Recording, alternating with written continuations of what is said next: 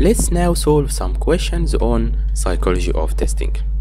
First question, which characteristic must a tester possess in order to be successful when working with a project team?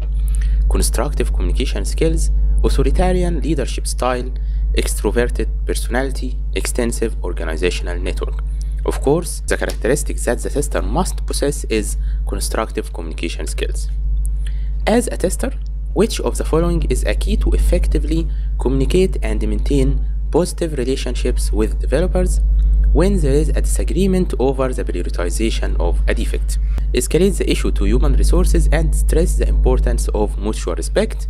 Communicate in a setting with senior management to ensure everyone understands. Convince the developer to accept the blame for the mistake. Remind them of the common goal of creating quality systems.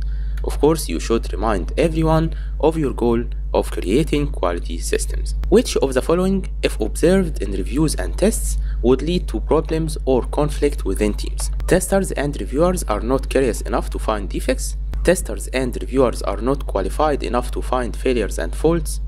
Testers and reviewers communicate defects as criticism against persons and not against the software product. Testers and reviewers expect that defects in the software product have already been found and fixed by the developers. The problem that will lead to conflict within the team is that you, the tester, communicate defects as criticism against persons. Which of the following are aids to good communication and which hinder it? 1. Try to understand how the other person feels. Of course, this will aid good communication.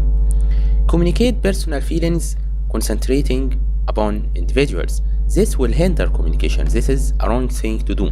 You should not communicate personal feelings. You should be neutral, fact focused. Confirm the other person has understood what you have said and vice versa. Yes, you should do this. Emphasize the common goal of better quality. Yes, we will do this.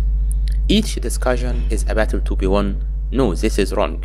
We should not win discussions and we should not go to them as they are a battle. We need to do the right thing in the right way.